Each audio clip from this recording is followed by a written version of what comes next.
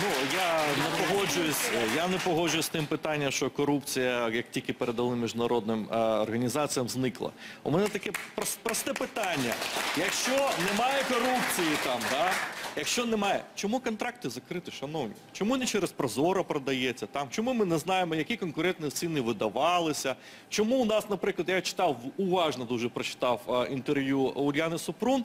Вона не сказала, коли вода буде продаватися через Прозоро. Вибачте, будь ласка, якщо не, якщо не продається по закритих контрактах, значить як крали, так і крадуть. Вибачте, будь Через ласка. наших дистриб'юторів. так, по- по- по-друге, там, да, ми повинні розуміти, що громадських організаціях, які працюють на гранти, це не є громадськими організаціями, Правильно. це є лобістами фарма, фармкомпаній, які працюють на закордонній компанії. Там, да?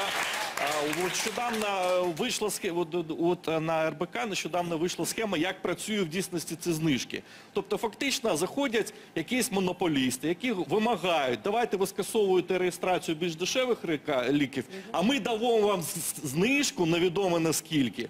Тобто йде монополізація ринку, в тому числі під прикриттям а, грантових організацій, які зараз не говорять, чому? Якщо раніше хоча публікувалися які тендери, звідки можна було побачити брат, сестра так далі. Так а зараз ми не знаємо, а є там брат чи сестра.